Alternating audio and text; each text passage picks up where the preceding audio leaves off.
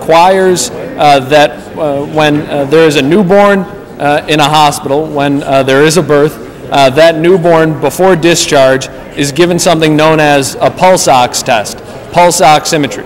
What that test does is measure the blood oxygen levels so that a doctor and a team of physicians can determine if that newborn has a congenital heart defect. Um, it is the simplest way and the best indicator to determine if a newborn has that heart defect. Now, many of our hospitals are uh, performing this procedure right now. Uh, there is not uniformity across the system. That is what this legislation would provide. The amendment offered by my colleague from Quincy uh, would uh, put the implementation date at January 1, 2015, uh, instead of uh, July 2014.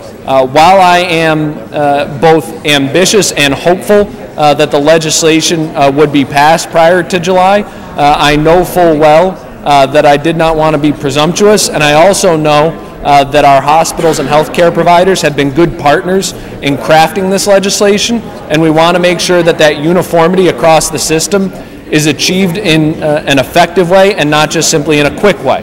so we are putting this in place with the amendment starting January 1st, 2015. by way of background, uh, when we first filed this legislation, 13 other states already required their hospitals and healthcare providers uh, to perform this screening. Since uh, we filed this legislation, had the hearing, and went through the process, fully 14 more states have put this in place as a requirement. So in 27 states, uh, when there is a birth, a pulse oximetry test is performed prior to discharge. Uh, why do we need to do this? It's about information. It's about making sure uh, that new parents aren't worrying about whether or not their kid has a congenital heart defect. They're simply worrying about what color they're going to paint uh, the room, uh, what they're going to name their newborn, uh, how many diapers they need to buy over the next week. Focusing on the things that uh, families should be focusing on, not whether or not their newborn is healthy. This is a significant issue. We know between 4 and 10 out of every 1,000 uh, live births in the United States uh, has a birth defect uh, that is brought on by a congenital heart defect. Uh, so we know uh, that this will provide information uh, to parents and families in the Commonwealth of Massachusetts so that they can start to treat that congenital heart defect as soon as possible. We know heart defects, unfortunately, are on the rise. we know, as I said earlier, that heart disease is the number two uh, killer uh, in Massachusetts, and we know that one of the best ways to address it, knowing full well that we have the best healthcare system in the world here in Massachusetts, we know uh, that the best way to address that is with early intervention and early information right off the bat.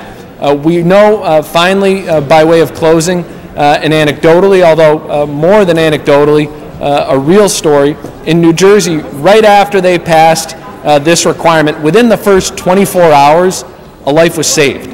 Uh, a young baby was born. Uh, they found, uh, after uh, performing the pulse ox test, uh, that they had a congenital heart defect. they were treated, um, and at the very least, the treatment was as quick and effective and as efficient as ever could have been wished for. Um, and in the best case scenario, that baby is alive today because of this.